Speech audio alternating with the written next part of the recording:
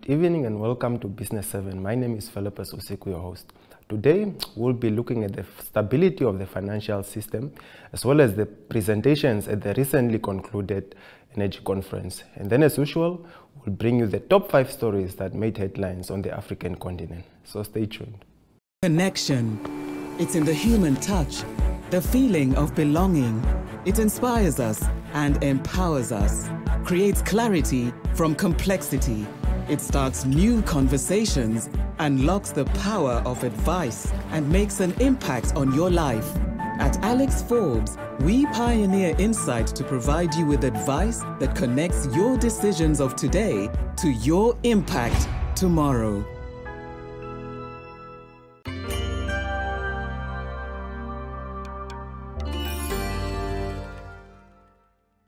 Kicking off, let's look at the top five stories that made headlines on the African continent as provided by Reuters.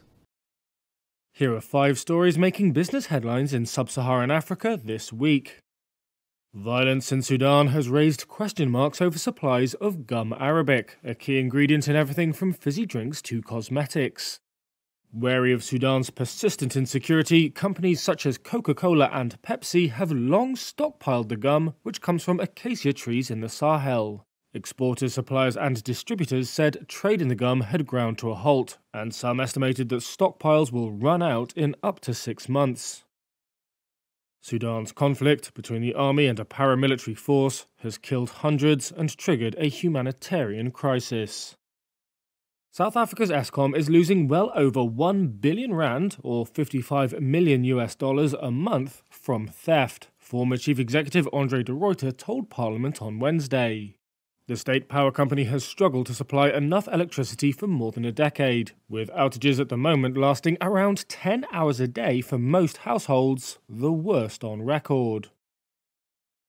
Mozambique's president has said it is safe for Total Energies to restart a $20 billion LNG project in Cabo Delgado province that was halted in 2021 due to attacks by an Islamic State linked insurgency on civilians.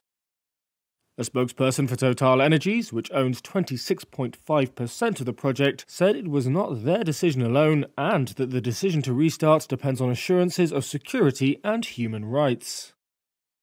An agreement on royalties between Congo's state miner and China's CMOC has been reached, Congo's finance minister said on Monday. That's paved the way for the resumption of exports from Tenke Fungurume mining, the world's second largest cobalt mine, which were suspended in July. And finally, Zimbabwean police are clamping down on backyard brewers who make fake whiskey, brandy, vodka, and other spirits. Civil society groups say alcohol and drug abuse is on the rise amid economic hardship in Zimbabwe, and that the illicit booze is contributing to the problem. Every day, you make choices that make you legendary. Journey together with us on the path to securing your legacy as a member of the League of Legends. With the Select Platinum Bundle Fee Premium Bank offering, you will access tools that will enable you to thrive. If you earn 850,000 Namibian dollars per annum or more, you can apply for this offering today via bankwindhoek.com.na for only 447 Namibian dollars per month. Bank Windhoek, a member of Capricorn Group.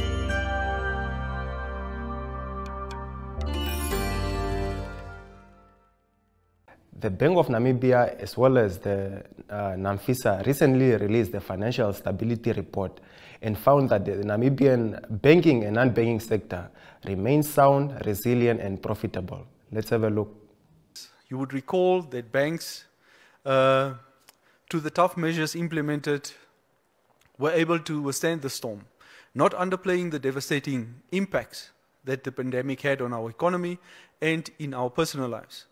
What is important to note is that just as we were dusting ourselves off from the pandemic, beginning the hard work of economic recovery, the world has again been hit by a wave of inflationary pressures driven by significant increases in fuel and food prices. It is now well understood that the inflationary pressures experienced globally emanated primarily from significant supply disruptions and geopolitical tensions in Eastern Europe so authorities all over the world responded to this new challenge boldly and swiftly. They took unpopular decisions uh, that may have unintended short term consequences but could pay off in the long term. Back home in Namibia, we are not spared from the impact of this new wave of inflationary pressures, and rightly so for a small economy. Consequently, as a monetary policy authority, the bank also acted boldly and swiftly. We acted within our mandate, uh, using the necessary tools at our disposal to contain inflationary pressures and to maintain the one to one peg with the South African Rand. We are well aware in the short term, we are well aware of the short term pain that this have on borrowers. But we are fully convinced that it's the right thing to do for our economy uh, in the long run. Allowing inflation to spin out of control can have far reaching consequences to our economy, particularly the recovery path, and can put our economy in a very vulnerable shape and space. In addition to the prevailing challenges related to inflationary pressures, we have recently witnessed banking system turmoil, which resulted in banking failures in the US and Switzerland, posing a threat to global financial stability. Uh, while it's important to understand the different contexts between what is happening in those countries and our situation here at home, the bank failures will provide lessons for us. Uh, it will amplify the need to ensure our frameworks are enhanced. Yes, each bank has its own story, but globalization and interconnectedness between markets and institutions remind us that if not properly contained, these developments have the potential to disrupt the global financial system uh, and culminate into a crisis. It is, however, pleasing that authorities in those jurisdictions are doing all they can to contain the situation in the most effective manner to avoid such disruptions. The key lesson we take from these bank failures is that even in advanced economies with sophisticated supervisory uh, regimes, banking institutions can fail. What is important, therefore, is whether we have put in place appropriate measures to ensure that such fail failures do not culminate into systemic crisis.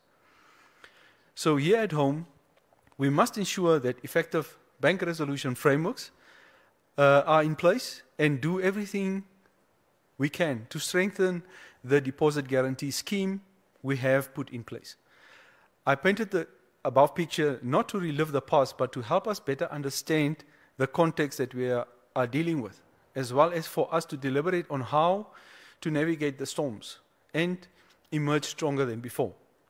As you heard from the previous speaker, the key message from the report we are launching today uh, is that financial, the financial system remains stable amidst the prevailing risk.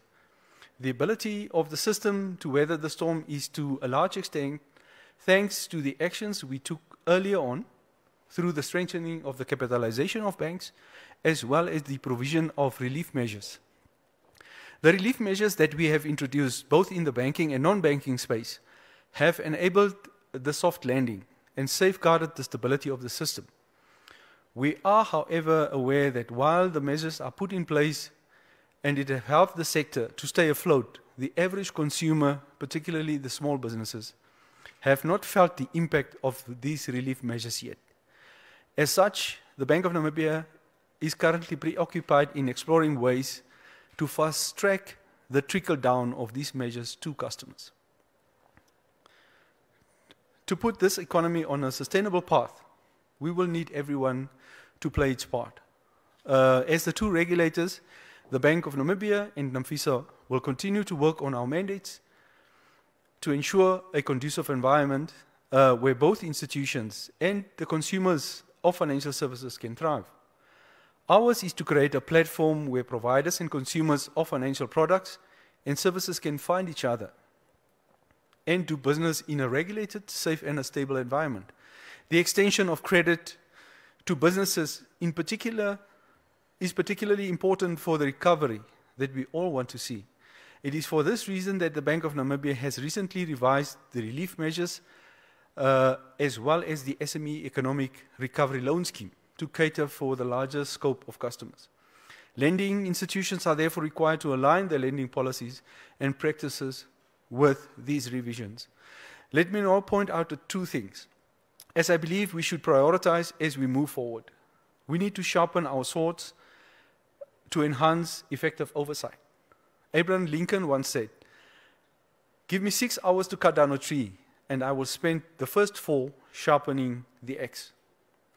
To cut our way through these waves of challenges, we need to spend a bit of time sharpening our sword. The world around us is fast changing, and this brings not only new opportunities but also new risks. Our two regulatory authorities must therefore do everything possible to remain ahead of the curve.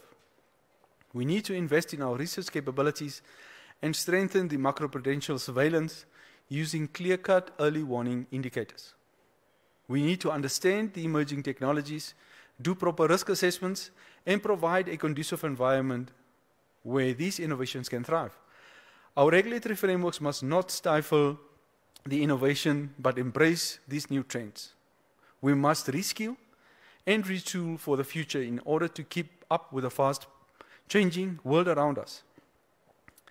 It is therefore critical to note uh, as technology advances, there will be those that will attempt to take advantage in the digital space by engaging in cyber crimes. We must therefore put adequate defensive mechanisms in place to protect our institutions and systems. I maintain the view that in order for us to ultimately win the war against cyber attackers or hackers and uh, other online criminals, we must create a framework at a national level that allows for the sharing of information across industries and regulators on the prevalence of these activities. I'm therefore happy to report that we've recently launched the Cybersecurity Council in the past year for that very purpose, thanks to all the stakeholders who made that possible. Secondly, we need to take the public along with us on this journey to recovery. The vital trust of our fellow citizens is a prerequisite to recovery. The need for that trust is even more elevated during times of economic challenges. It is important that our citizens have a clear view of the journey that we have embarked on and the decisions that we take along the way. As authorities, we have an obligation to explain policy decisions that we are taking and how they impact the public at large. Yes, some of the decisions may have a painful impact in the short term, but they will be necessary for the greater good over the longer term.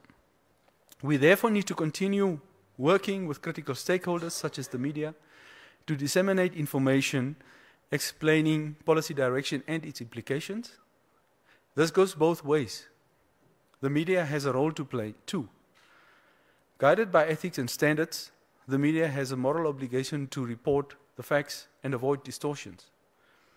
I strongly believe that we will be able to overcome the challenges we face, but only if we pull in the same direction. As I conclude, I want to emphasize that the challenges we face are not anything we must shy away from, but something we must face head on. The true measure of a society is not what we do in moments of comfort and convenience, but what we dare do in times of challenges and difficulties. I am therefore confident that we will pull through this if we resolve to do it together. I am further delighted to note that despite the prevailing risks, uh, thanks to the steps we have already taken, the financial system remains sound and stable. I therefore have the pleasure of declaring the 2023 Financial Stability Report officially launched. I thank you very much.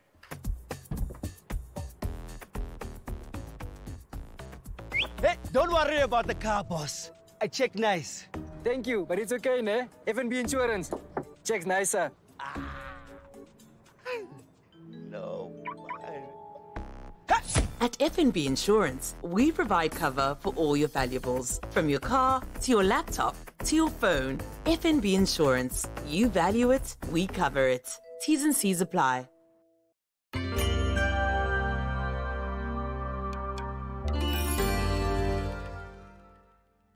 Oil is the talk of the town.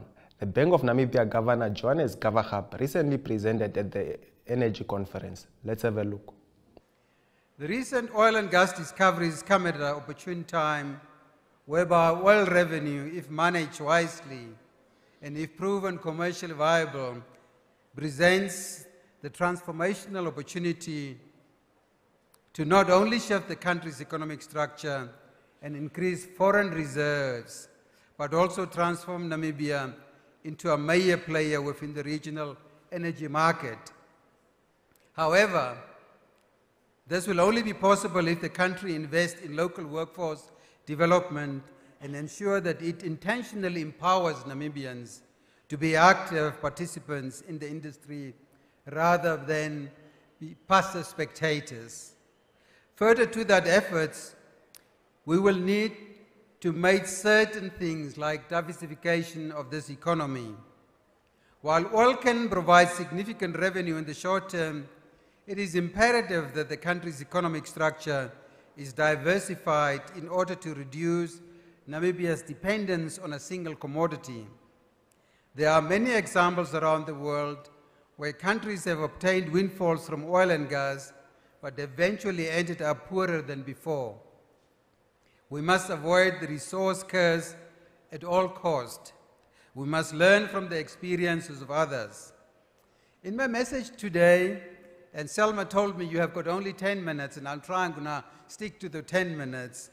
I would like to talk about the integrity and governance of our institutions that needs to be strengthened in order to ensure that there is a level playing field for all companies operating in the industry.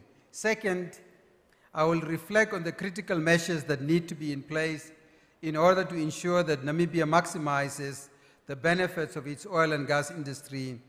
And finally, I will highlight the head start we have made as a country in promoting the equitable distribution of the benefits of Namibia's natural resources through the establishment of the newly launched Sovereign Wealth Fund, the Welwitschia Fund. So there's three things, and each one of them will be just two, three minutes. At the Bank of Namibia's 23rd Annual Symposium, we made some key recommendations that we believe will help our country to remain focused these recommendations included growth enhancing policies, which is the mainly to ensure that the discoveries contribute to sustainable economic growth in the country.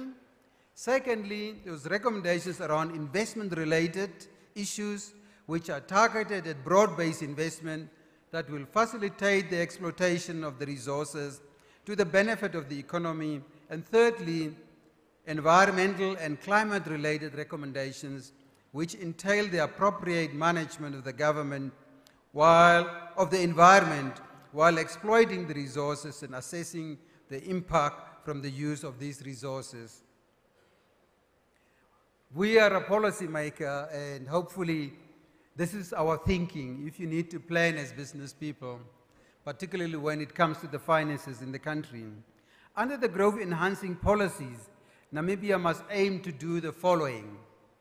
Build competent and accountable institutions. Like many resource-rich countries, Namibia needs accountable resource governance institutions to prevent the resource curse. International experience has shown that resource-rich countries tend to be more prone to corruption due to their large rents coupled with weak governance structures. The integrity of our institutions is almost a condition sine qua non, an indispensable action, an essential factor that which Namibia cannot afford to compromise on. As such, the country needs to develop a transparent legal and regulatory framework to govern the industry in order to level the playing field and ensure that there is no corruption or favoritism. As custodians of the oil and gas sector, the Ministry of Mines and Energy must facilitate and ensure that the mechanisms for accountability are in place through responsive legal frameworks and policies. National oil companies are potentially useful instruments, and as such, the National Oil Petroleum Company must be held to the highest accountability and transparency standards and prevent it from becoming a state within a state.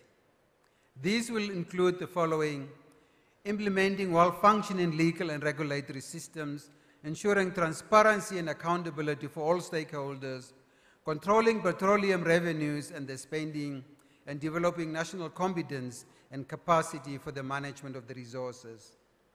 Secondly, we need to manage the petroleum revenue if we get to that stage. Through assurance of accountability and transparency, the Ministry of Finance and the revenue authorities must ensure the collection of due revenues and avoid leakages. Thirdly, we need to maximize local value creation and industrialization.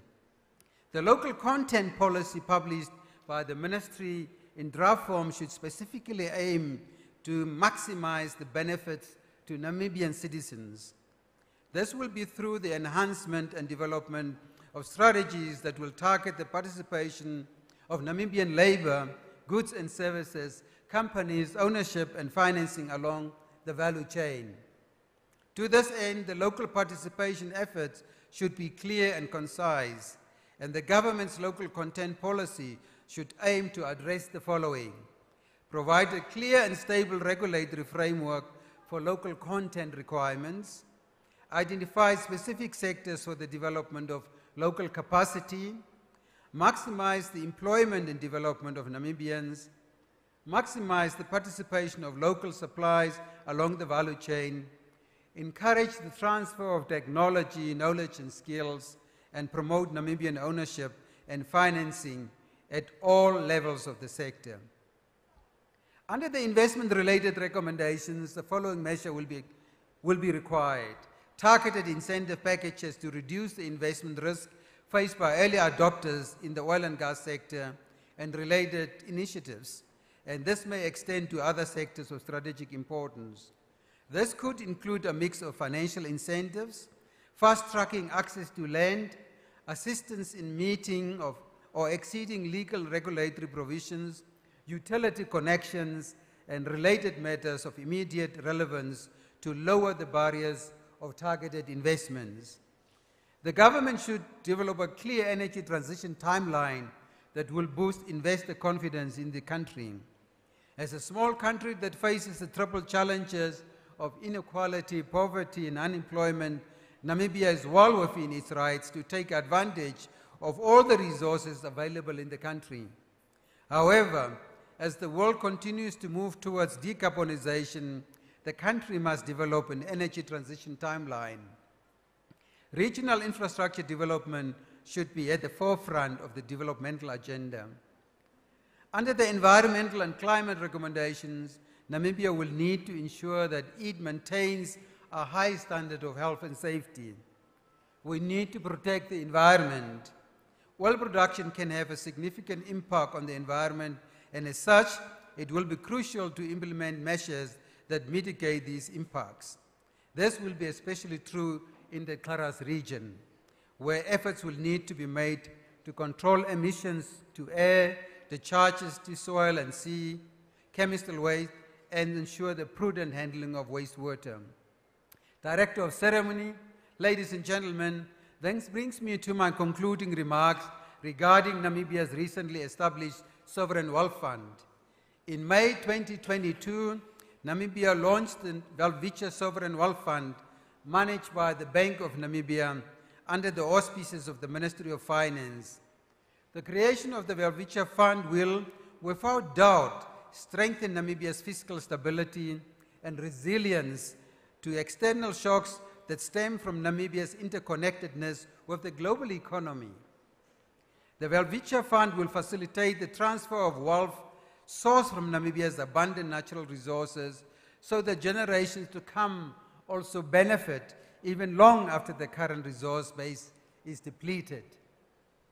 With the fund, we are better positioned to institute long-term oil and other natural wealth management. Ladies and gentlemen, in his book, The New Map, Energy, Climate, and the Clash of Nations, Daniel Yergin states, and I quote him, there is no single energy future there are multiple possibilities and trajectories with multiple challenges and uncertainties. How we meet them, how we address the energy transition will define the 21st century, much as oil and gas helped define the 20th century. Unquote. The global energy landscape is changing rapidly with new technologies, consumer preferences, and a growing awareness of the environmental impact of fossil fuels, all contributing towards a shift away from traditional oil and gas resources. This shift is creating a new map of global power with countries that are able to adapt to the changing energy landscape set to emerge as the world's new leaders. Ladies and gentlemen, Namibia has the potential to punch well above her weight and size and become an energy exporter. I believe oil and gas will be with us for the next three decades. Everybody's guess, but the shift is already happening. As we move forward in crafting the future of Namibia's energy landscape, let us remember that our natural resources are finite, but the benefits they bring can be, are not finite, but the benefits they bring can be. Therefore, we must strive to develop a sustainable and equitable framework that maximizes the benefits to all Namibians, both now and in the future. Let us work together towards a prosperous and inclusive Namibia. I thank you for listening.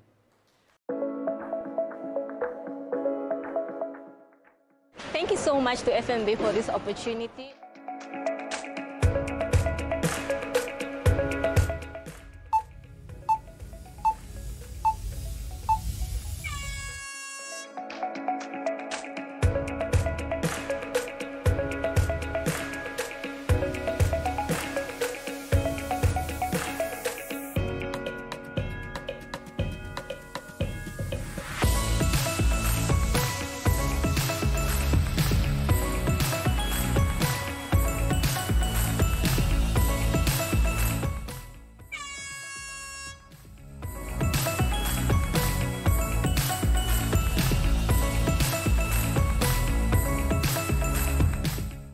So, so much to FNB. What an experience. I never got to do shopping in five minutes, but look at all this.